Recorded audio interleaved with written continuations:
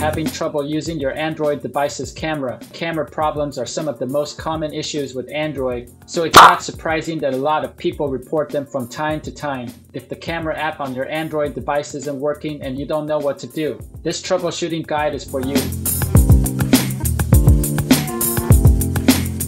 Sometimes, restarting the app is all it takes to fix a problem with the camera when your Android device has been running for a long time. It may show an error message like unfortunately, camera has stopped working error or camera failed. This reloads the app and gets rid of any temporary bugs or glitches that might cause an error message or stop an app from opening. This fix is especially important if the camera app or a third-party camera app has stopped working. Follow these steps to force quit an Android camera app. Open Settings app, Tap apps.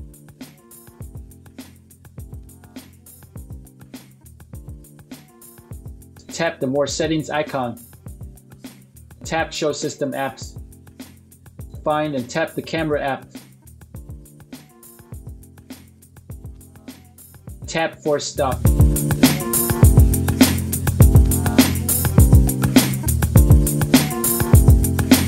Force quitting the camera app or a third-party app didn't fix the problem. You can try restarting your Android. Some apps can't work because of bugs and other problems with the software. You can restart your device to see if the problem is only temporary. To do this, press and hold the power button. Then choose power off to turn the device off completely.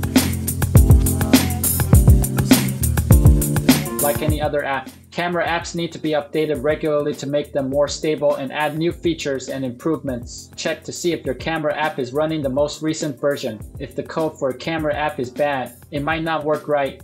And the only way to fix it is to install an update from the developers. To update your camera, open camera. Go to settings.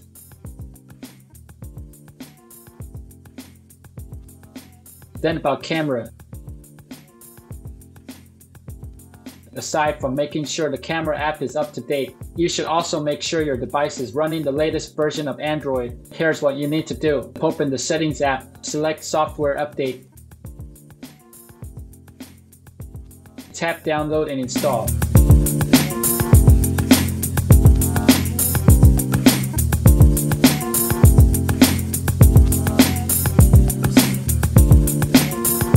People's Android phone cameras stop working because they don't have enough space on their phones. In this case, all you have to do to fix the camera is delete some apps or files to make some space. If you have an SD card, try moving some of your photos, videos, or files to it. This should start up your camera app again. If you need to empty your SD card quickly, you can also try to reformat it by following these steps.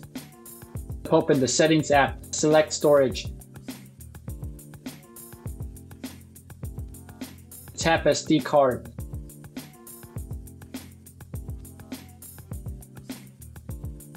Select Format SD card. Keep in mind that if you reformat your SD card, all of your files will be gone forever. If your SD card has something important on it, you should make a copy of it before you reformat it. Next, clear your camera app cache and data. Clearing an app's cache is a good way to get rid of data that has become corrupted. Open Settings app, tap apps. Find and tap the camera app.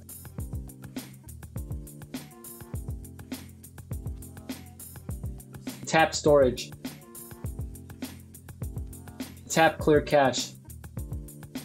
Once the cache has been cleared, open the camera again on your Android phone to see if it now works. If the camera on your Android phone is still not working, you can then clear app data.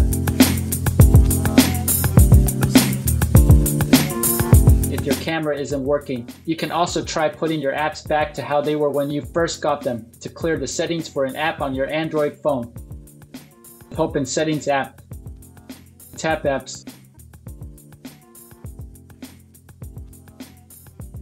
Tap on More Settings at the upper right. Select Reset App Preferences. Restart your Android device and check for the problem. Last thing you can do to fix a camera that won't work is to reset it to factory settings. This is a last resort that should only be used if none of the other steps in this guide work. If nothing changes during this time, you may have to delete the phone and reset all of its software settings. Most software problems can be fixed by doing a factory reset. If your camera error is caused by a bug in the software, you can do a factory reset to set all software settings back to their original values. To reset an Android from the factory, open Settings app, scroll to and tap General Management. Tap Reset. Select Factory Data Reset from the given options. Read the information then tap Reset to continue. Tap Delete All to confirm action. That's it. If you think that this video is helpful, we would appreciate it if you can leave a like, subscribe to our channel, or share this video to your friends. This can greatly help in making sure that Google's algorithm can find and recommend this video to others.